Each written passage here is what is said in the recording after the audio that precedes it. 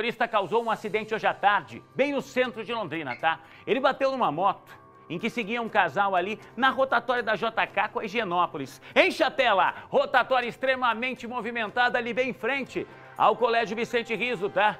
Depois de acertar a moto, o motorista do carro fugiu. Não parou para prestar socorro. Meu Deus do céu. A mulher que estava na garupa se feriu, hein? 6 e 19, enche a tela. Esse acidente foi por volta das 2h40 da tarde, logo depois da rotatória da Higienópolis com a JK. Exatamente aqui, ó, em frente ao Colégio Vicente Rijo. Você está vendo que a moto ainda está aqui na pista da JK, ela que acabou batendo nesse carro que estava parado. Você vê que tem marcas ali, ó, no carro preto. O fato é o seguinte, de acordo com testemunhas, um outro veículo, que seria um Gol de cor clara, teria provocado esse acidente e o motorista teria fugido daqui assim que percebeu o erro que cometeu.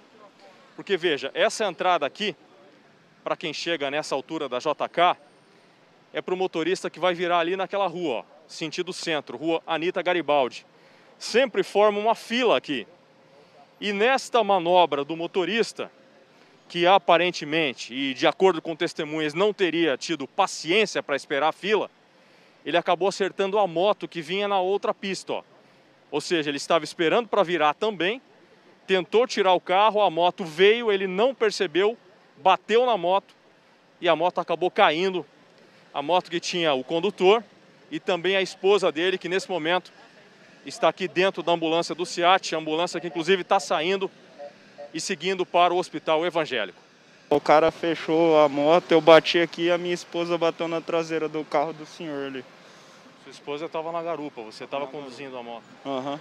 E foi rápido assim, você não conseguiu identificar o carro? Nada? Não deu para identificar nada. Você machucou? Só escoriação, só. E ela? Ela, ela tá tendo atendimento do médico ali e a gente tá querendo saber ainda. Eu vi pelo retrovisor, porque eu estava parado, porque tinha mais dois carros parados entrando à esquerda. Aí o que eu vi foi um carro vindo atrás, é, tentou é, desviar do meu carro, ele estava parado, aí ele saiu para o meio da pista, vinha um rapaz de moto entre duas filas, aí é, ele tentou desviar do cara que estava no meio, bateu na guia do, do meio fio e ele é, jogou a traseira da moto na, na, no meu carro e a moça foi catapultada para a traseira do carro também. Ela estava de capacete aberto, ela bateu o rosto. Foi, foi, em questão de segundos tudo, né? Muito rápido, muito rápido. E, e, o outro sujeito que seria o causador do acidente fugiu. É, ele não, não, não ficou... Percebendo, inclusive, o, que, o erro que tinha Justamente, cometido. ele viu o erro que estava cometendo, ele pegou e foi embora. Não deu assistência, só que eu acho que ele não conseguiu pegar e eu também não consegui pegar nada, porque quando eu saí, eu saí para atender a, a moça que estava tendo uma falta de ar e ela estava é, não estava falando. Então, Prioridade, a gente quer atender as pessoas. Exatamente, é dar uma ansiedade né, para atender uma moça nova, coitada, e, e, e o rapaz também estava tudo arranhado no chão, né? Então a gente veio atender. Gente, é um absurdo alguém se envolver num acidente e fugir do local, né? Chovendo uma olhada a gente falar disso, porque parece que a, a coisa vai se repetindo, né? As pessoas atropelam alguém, se envolvem num acidente e acham que tinha o que ali? Um saco de lixo? Um pedaço de madeira? Uma caixa de papelão. Era gente. Como é que essa pessoa consegue chegar em casa e olhar para o filho, para a esposa e falar assim: Ó, oh, o pai teve um bom dia de trabalho, tá? É.